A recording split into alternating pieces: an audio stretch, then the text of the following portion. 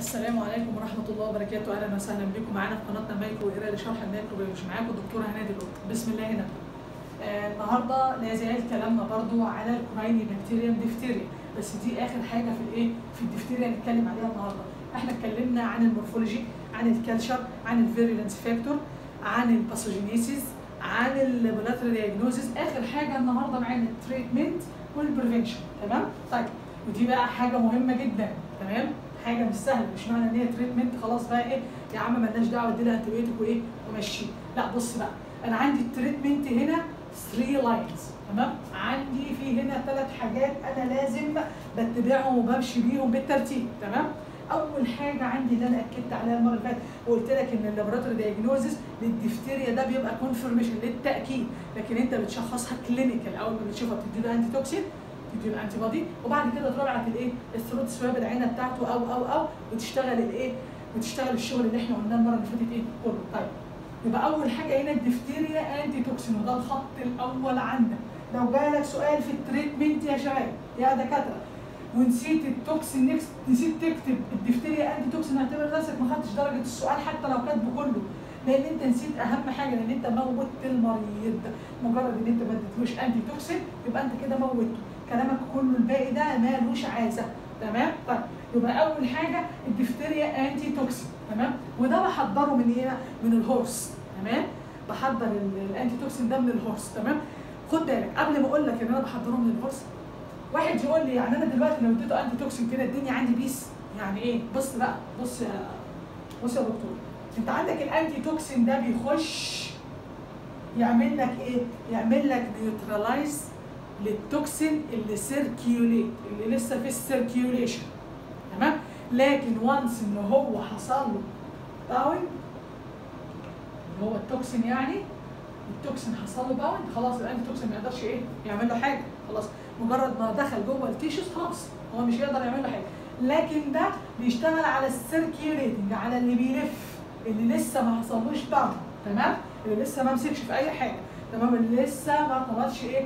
بال tissue بيبقى يعمل circulate دي معلومة مهمة.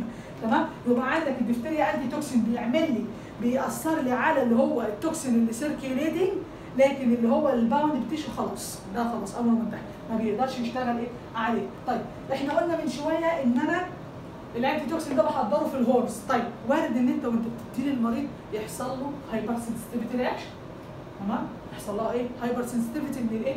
من ال antitoxin سؤال. دلوقتي المريض اللي قدامك عنده hypersensitivity من ال antitoxin ده. تديهوله ولا ما تديهولوش؟ عنده hypersensitivity هنديله ولا ما نديلوش no way مفيش حاجة هتمنعني إن أنا أدي ال antitoxin. مفيش أي حاجة هتمنعني إن أنا أدي ال antitoxin. أنا لو عنده hypersensitivity عندي الاحتياطات بتاعتي اللي أنا ممكن إيه؟ أتبعها في حالة ال hyper إيه؟ ال hypersensitivity صح كده؟ يبقى أنا هدي للمريض سواء كنت هتدي له toxin intramuscular أو intravenous يعني هتديهوله في الوريد أو في العضل ايا كان تمام؟ آه أنت لو المريض عنده hypersensitivity أنت تقدر تمنعها تقدر تعالجها وأنت بتديله لكن أنت لو ما اديتوش ال antitoxin هو هيموت. يبقى أنا ما فيش حاجة تمنعني إن أنا أديله ال antitoxin والله ولا hypersensitivity ولا ولا ولا ولا ولا. وقلنا المرة اللي فاتت لو هو الأشهر أو الأخطر أنا أعتبره الأخطر. صح افتكرت. في حاجة أنا ما اتكلمتش عليها المرة اللي فاتت. أنت إزاي بتشخص ال carrier؟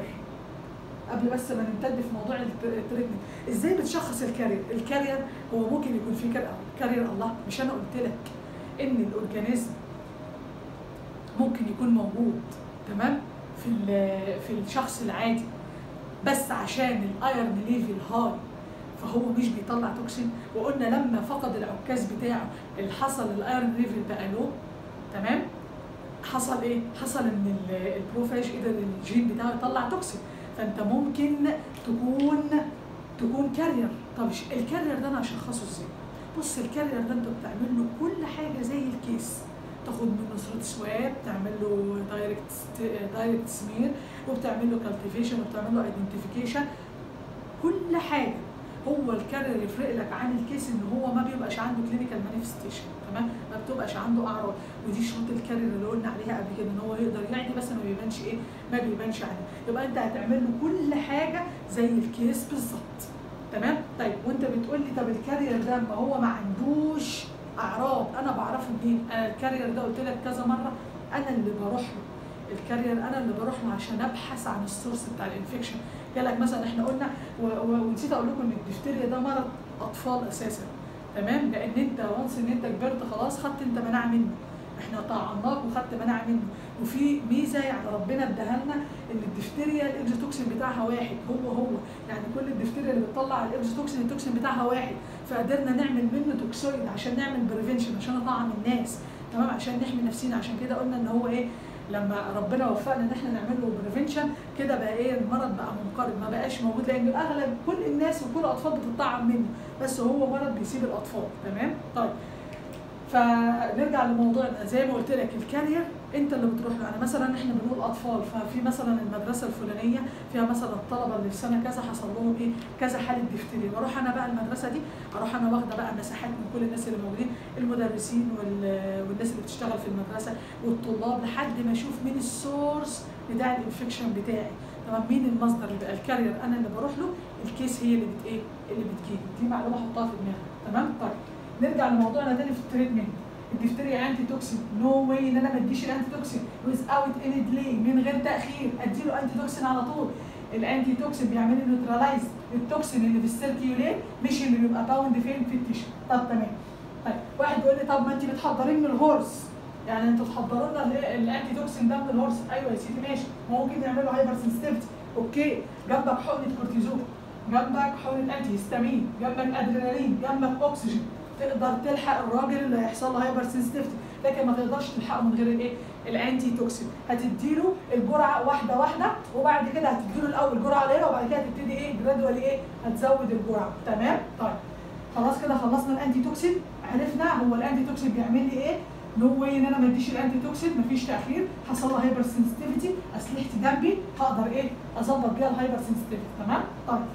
تاني حاجة ال antibiotic آه بصوا بقى هنا الجزئيه دي جميلة. واحد يقول لي antibiotic ليه أنا ما اديته ال antitoxin وخلصنا.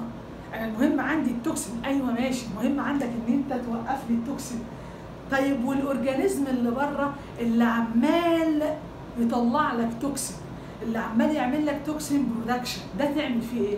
أنت دلوقتي مثلا دخلت أول ما دخلت البيت عندك لقيت الغاز مفتوح. تمام. أول حاجة تعملها إيه؟ خش اقفل الغاز. ولا تسيب الغاز وتروح تفتح الشبابيك وتهوي؟ طب ما أنا لو فتحت الشبابيك وهويت أنا برضو لسه ما زال الغاز عندي بيسرب صح؟ يبقى أنا أول حاجة عندي أقفل الغاز بتاعي. صح؟ أقفل الطريق اللي يطلع لي ال toxin أموت ال organism. تمام؟ عشان أقلل أقلل الإيه؟ ال toxin production. وعشان حاجة تانية مهمة هقولها لك دلوقتي. يبقى أنت دلوقتي حطها في دماغك كده. أنا دخلت الشقة عندي أو البيت عندي لقيت أنبوبة الغاز مفتوحة. أول حاجة بتعمل عليها إيه؟ بتجري تقفل الإيه؟ تقفل اسطوانة الغاز على طول. تمام؟ وبعد كده تفتح الشبابيك عشان تهوي الدنيا. لكن ما فيش واحد يفتح لي الشبابيك يهوي الدنيا ويسيب الغاز. ما هو أنت سايب المصدر اللي عامل لك قلق. يبقى أنت أول حاجة تقفل الإيه؟ تقفل الغاز بتاعك. يبقى أنت أول حاجة تموت ال organism. ال organism لازم إن أنت تموته. تقضي عليه. هتقضي عليه فين؟ بال antibiotic عشان اقلل ال toxin production. لأن هو اللي بيطلع لي ال toxin. تمام؟ يبقى أنا هدي ال antibiotic عشان أموت ال organism عشان يعمل لي أقلل ال toxin إيه؟ production طيب تاني حاجة بقى تاني حاجة مهمة في ال antibiotic إيه؟ عشان ال- المريض عندك يحصل له بص يحصل له إيه؟ الأول هنكتب لك بص reduce reduce ال toxin production تمام؟ تاني حاجة هتحصل إيه بقى؟ بص هيحصل له complete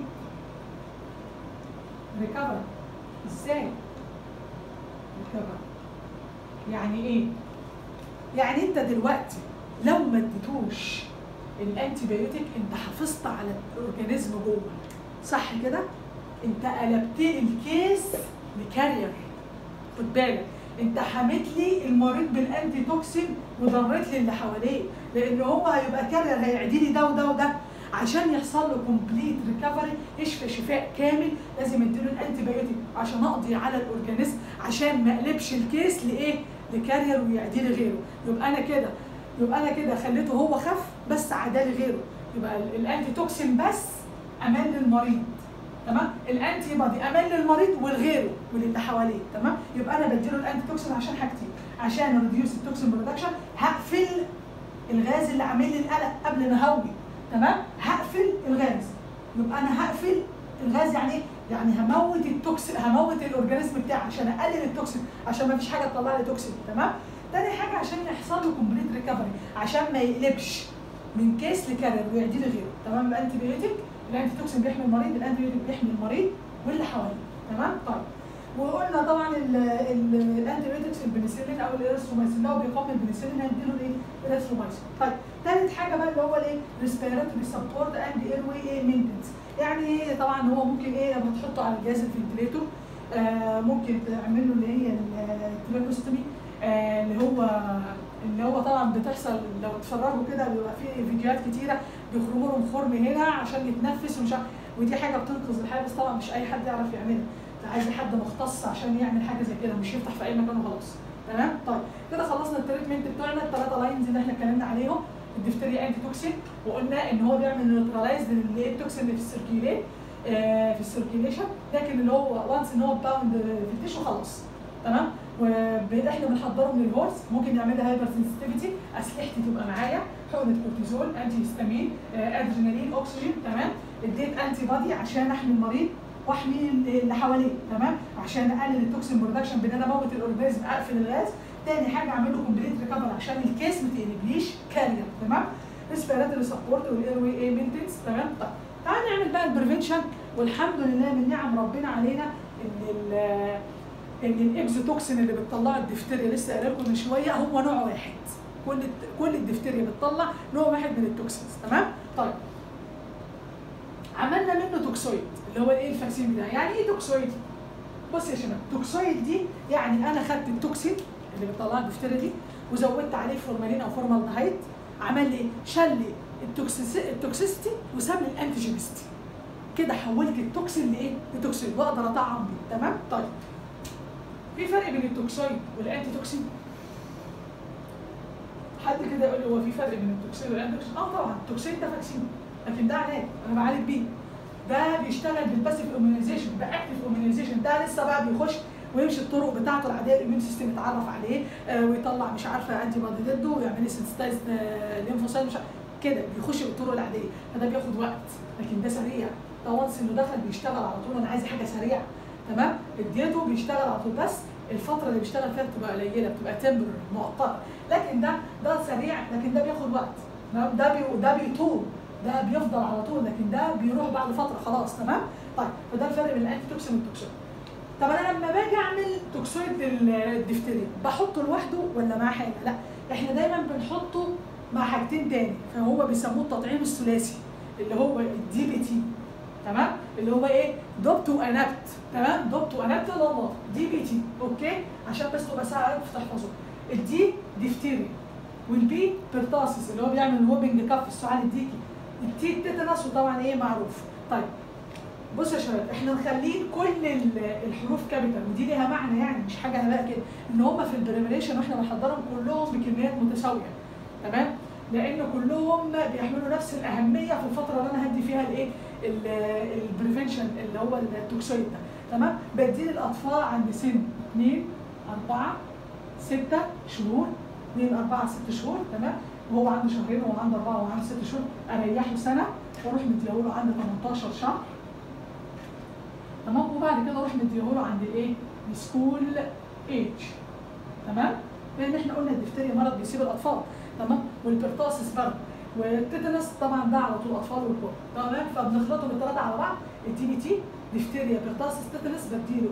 بيبقى intramuscular آه بديه 2 4 6 شهور. بعد كده ريحه سنة اديله عند 18 شهر. بديه عند 18 شهر. وبعد كده بديه إيه؟ في ال school age طب تمام. نيجي في برضه عندي آه toxoid اسمه DT طيب D diphtheria T tetanus طب فين ال P؟ سقطنا ال P ال pertussis لأن هو لقينا إن هو عند سن معين بيعمل لي حاجة اسمها encephalopathy بنسبة 20% من الناس اللي بتاخده بيعملوا encephalopathy فإيه؟ فمنعناه عن عند السن ده لما بيكبر شوية تمام؟ منعنا سقطنا ال P إيه؟ اللي هو ال pertussis فبقى عندي الديفتيريا والايه؟ وال tetanus وده بيسموه pediatric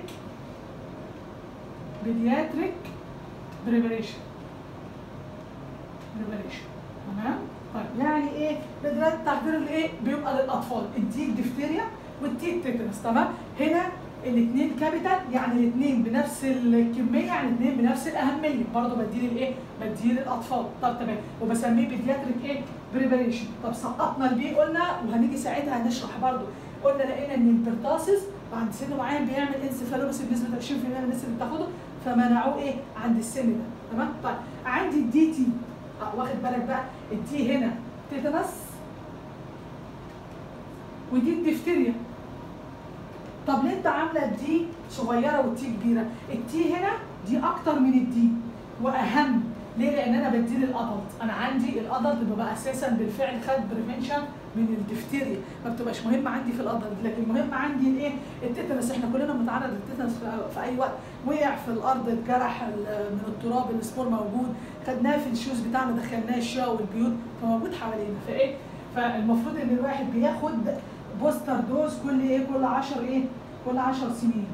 بس بص كل كل إيه؟ كل 10 سنين تمام؟ طيب آه اللي هو الإيه؟ ال dT وبرده لو أنت ال dT لو أنت close contact مع المريض لو أنت close contact مع المريض بتاخده بس بشرط إن أنت تكون متطعم قبل كده بندي عشان خاطر يحصل إيه؟ عشان خاطر يحصل تنشيط للإيه؟ بتنشط ال memory cell اللي موجودة تمام؟ هديله ال dT لو هو close contact مع الإيه؟ مع المريض عشان خاطر ينشط لي الإيه؟ ينشط لي ال memory cell اللي موجودة تمام؟ وده قلنا بنديه للإيه؟ بيبقى لل adult فعشان كده d small وأقل من ال T يعني أهميتها أقل لأن ال adult بيبقوا أقل بكتير عرضة للدفتيريا لكن لأن هو مرض الأطفال تمام؟ كده خلصنا ال treatment الثلاثه lines بتوعنا خلصنا ال prevention DPT DT وال dT قلنا الفرق بينهم إزاي لما بيبقى capital بيبقى لما بيبقى سمول إيه والأهم للاطفال والأهم الايه للكبار كده خلصنا ال coryne ال corynebacterium diphtheriae إن شاء الله المرة الجاية ناخد الاستيريا كده خلصنا والسلام عليكم ورحمة الله وبركاته.